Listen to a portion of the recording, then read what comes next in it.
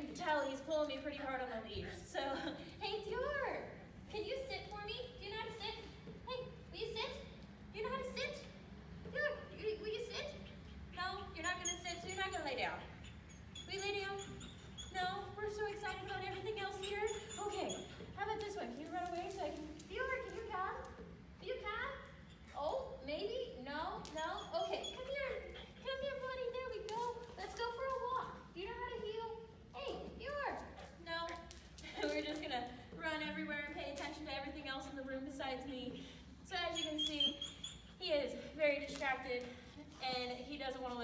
I'm saying, but we will work on that in the next 15 days. Come back and check out his transformation.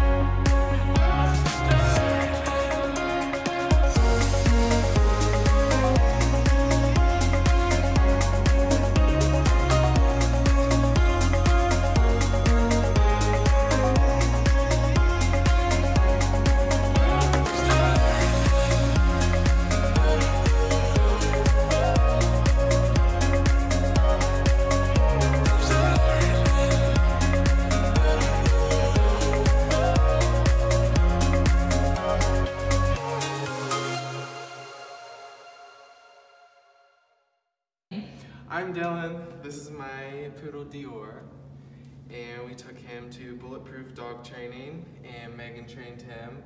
I think that she did an amazing job. He's a lot calmer. He seems to be a better boy now, and we appreciate that. Thank you.